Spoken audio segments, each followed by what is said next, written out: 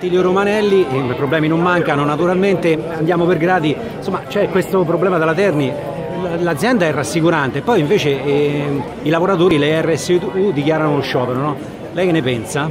Io penso che vanno ripristinate le relazioni sindacali dentro questo stabilimento, c'è una gestione quanto mai discutibile delle relazioni che noi stiamo contestando e riteniamo necessario modificarle per, per consentire e garantire una ripresa non solo in termini produttivi ma anche in termini di lavoro e di relazione umana all'interno dello stabilimento. Quindi lei è favorevole insomma, alle iniziative degli Beh, Le RSU fanno un'operazione che rappresenta un disagio una criticità a cui si deve rispondere e non si può non, non rispondere. Un'altra criticità è quella Novelli, di ex Novelli Alimenti Italiani. C'è una parte dei lavoratori che ha bocciato eh, l'accordo sindacale, lei che ne pensa?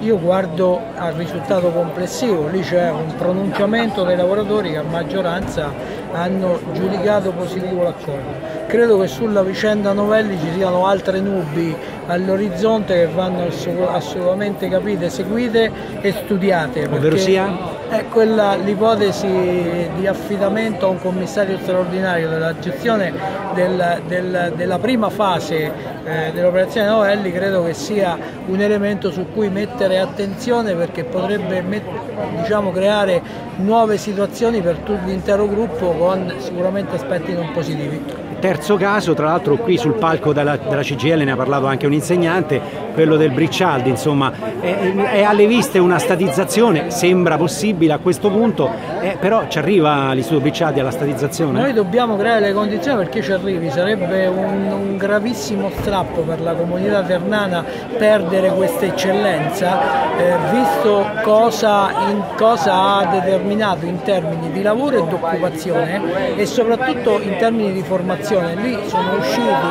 giovani, giovani di, grande, di, grande, valore, di grande attenzione eh, sulle, sulle questioni della cultura musicale. Pensiamo che quello sia un aspetto fondamentale in una comunità che si sta impoverendo.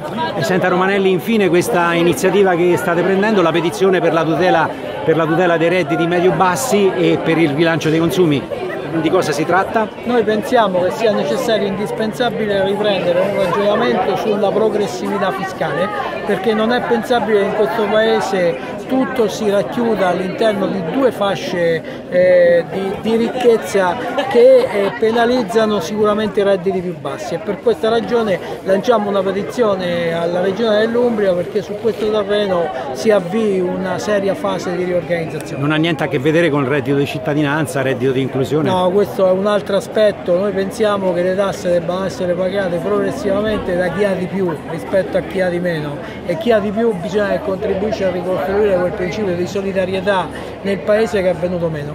Grazie.